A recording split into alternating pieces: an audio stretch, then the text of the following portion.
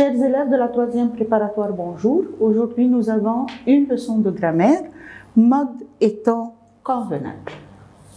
Si nous avons une phrase et le verbe est à l'infinitif, à quel mode et à quel temps je vais conjuguer ce verbe? On va voir les modes et les temps et les règles qu'on va utiliser. Bon, quels sont les modes que nous avons? Bien sûr, il y a plusieurs modes. Mais ce que nous allons travailler, c'est le mode indicatif, le mode subjonctif, le mode conditionnel et le mode infinitif. L'indicatif, c'est quoi l'indicatif? L'indicatif, c'est le, le mode qui exprime quand. C'est hier dans le passé, c'est maintenant dans le présent, ou c'est demain ou après dans le futur. Ça va? Quels sont les temps de l'indicatif? L'indicatif comprend huit temps, quatre temps simples, présent, futur simple, imparfait, passé simple, et quatre temps composés. Le passé composé, plus que parfait, le passé antérieur et le futur antérieur. Bon, quand utiliser l'indicatif? Alors, on va voir maintenant les règles de l'indicatif. Ensuite, on va voir chaque règle en détail. Bon, l'indicatif alors, quand ou lorsque dans la phrase, je peux mettre les deux verbes de la phrase dans le même temps. Par exemple, si c'est le présent, j'utilise le présent. Si le premier verbe au futur, j'utilise le deuxième au futur. Et de même pour le passé, j'utilise le deuxième verbe au passé. Mais attention, quand et lorsque, on ne va pas les utiliser dans le même temps seulement. On va voir qu'ils existent aussi dans la règle d'antériorité et on va voir quand et comment les utiliser. Bon, la règle d'antériorité. C'est quoi la règle d'antériorité? Alors, c'est une règle que vous avez travaillée l'année passée. Alors, c'est action 1 et action 2. Alors, si le verbe de l'action 1 est au passé composé, je dois utiliser le présent. Si le verbe de l'action 1 est au plus que parfait, verbe action 2 doit être à l'imparfait. Si le verbe de l'action 2 est au futur antérieur, le verbe pardon, si le verbe de l'action 1 est au futur antérieur, le verbe de l'action 2 est au futur simple, de même pour le passé antérieur et le passé simple. Donc, action 1, ça doit être à un temps composé et action 2 doit être à un temps simple. Alors, quand utiliser la règle d'antériorité et avec quelle conjonction? Alors, quand, lorsque, dès que, après que, depuis que, aussitôt que, chaque fois que. Alors, quand on les trouve dans la phrase, alors on doit utiliser bon, la règle d'antériorité et les temps comme c'est mentionné dans la règle. Bon, aussi, nous avons la règle de si. Bon, la règle de si, alors, si plus présent, c'est futur, si plus présent impératif, si plus imparfait conditionnel présent, si plus plus parfait conditionnel passé. Alors, ça c'est la règle de si et on va la prendre en détail après ça.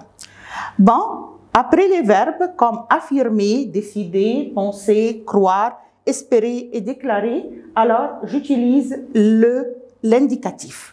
À quel temps? C'est d'après le sens de la phrase ou bien d'après le mot-clé qui se trouve dans la phrase. J'affirme que, je décide que, je pense que, je crois que, j'espère que, et je déclare que. Et maintenant, on va voir les règles avec les exemples. Bon, l'indicatif. Bon, en détail maintenant, c'est le mode qui présente un fait comme certain. Comme on a dit, il comprend les temps simples et les temps composés. Bon, hier, c'est un temps présent. Euh, pardon, c'est un temps passé. Mon frère a joué au, au football dans l'équipe de son école. Aujourd'hui, c'est le présent. Il va à la piscine avec sa sœur. Demain, c'est le futur. Il fera du judo avec ses copains. Bon, après les conjonctions suivantes, quand et lorsque, les deux verbes sont au même temps. Quand je prends l'avion, j'ai peur. Ici, les deux actions se passent en même temps, alors ici, je dois utiliser le même temps. Quand je prends présent, j'ai peur présent. Lorsque mes parents voyageaient, ils consultaient un guide. Bon, les deux actions se passent en même temps avec lorsque, alors je dois utiliser le même temps. Ici, c'est un temps du passé, c'est l'imparfait. Attention, ces deux conjonctions, comme on a dit, peuvent aussi exprimer l'antériorité. Et voilà la règle d'antériorité. Nous avons passé composé présent, plus que parfait imparfait, passé antérieur, passé simple. On utilise euh, futur antérieur, futur simple. On utilise cette règle avec les conjonctions quand, lorsque, dès que, après que, depuis que, aussitôt que et chaque fois que. Et voilà, nous avons les exemples. Quand j'aurai fini ce travail, je sortirai. Après le quand, j'ai toujours l'action 1 qui à un temps composé. Ici, c'est le futur antérieur. Alors, le deuxième verbe action 2, ça doit être au futur simple. De même, aussitôt les enfants étaient sortis de l'école, ils couraient s'acheter un chocolat. Aussitôt que est suivi d'un verbe au temps composé, parce que c'est euh, c'est l'action numéro 1, alors le deuxième doit être à un temps simple parce que c'est l'action 2. D'abord, il sort de l'école, ensuite, il s'achète ou bien il court pour s'acheter le chocolat. L'assistant dentaire stérilise les instruments après qu'ils ont servi. Voilà. Après que, voilà, est suivi de verbe de l'action 1, alors c'est un temps composé, c'est passé composé. Action 2, stérilise les, les instruments. Ça va? C'est le verbe ici qui est au présent. Ensuite, nous avons la règle de si avec les exemples. Si plus présent, futur. Si j'ai le temps, je passerai chez toi. Présent, futur. Si plus présent, impératif. Si vous êtes fatigué, reposez-vous un moment. Reposez-vous ici, c'est un verbe à l'impératif. C'est un verbe pronominal. C'est le verbe se reposer. Repose-toi, reposons-nous, reposez-vous. Si plus imparfait, conditionnel présent. Il faudrait consulter un médecin si vous aviez encore mal. Ici, si plus imparfait, ça donne le conditionnel présent. Si plus plus que parfait, conditionnel passé. Si tu m'avais téléphoné, je serais allé te chercher à la gare. Le plus que parfait, c'est un auxiliaire à l'imparfait plus participe passé. Et le verbe au conditionnel passé, c'est un auxiliaire au conditionnel présent plus le participe passé. Bon, on a terminé avec les règles de l'indicatif. Et maintenant, on va passer aux règles du subjonctif. Alors, c'est quoi le subjonctif? Le subjonctif, c'est un mode. Il y a le subjonctif présent comme temps, et il y a le subjonctif passé comme temps. Alors, on va se contenter seulement du subjonctif présent. Ce mode exprime la pensée, le c'est-à-dire doute, je doute que, l'incertitude, je ne suis pas sûr que, la crainte, je crains que, j'ai peur que, la supposition, je suppose, que, le souhait, je souhaite que, la volonté, je veux que, il y a aussi les sentiments, j'aime que, je déteste que. Alors, il est le plus souvent employé dans les subordonnés.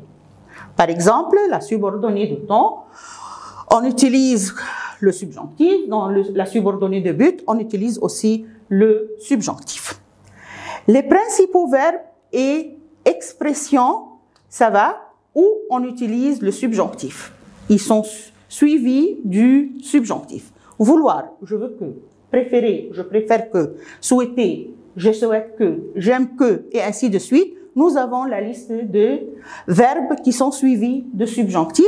Et quand je dis expression, comme il faut que, il vaut mieux que, il n'est il pas question que, tout ça sont suivis du subjonctif. Alors, exemple, il vaudrait mieux que tu dises la vérité. Je doute qu'ils connaissent le code de la porte d'entrée. Est-ce qu'après les verbes seulement on utilise le subjonctif? Non.